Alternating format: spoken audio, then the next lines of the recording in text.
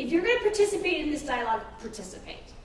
You don't, you don't have to talk a lot, but if you're going to be actively listening and eavesdropping on the world, you should be open to the fact that they want to eavesdrop on what you have to say. You don't have to say anything that makes you creeped out, but but don't go don't go into the party and then be like nobody can talk to me because I'm a private person.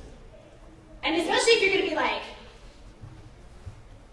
oh, I'm sorry, I'm, I'm a private person. And what were you saying?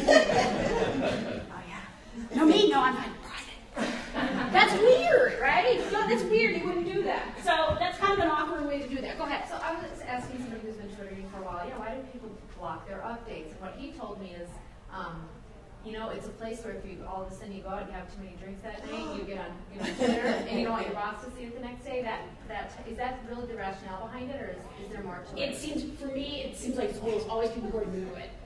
And it gives you the option when you set up your account to have it be blocked. And you think, well, privacy, that's good, right? Because you like Facebook and whatever. But in this environment, I'm talking about work stuff and I'm talking about work stuff fast.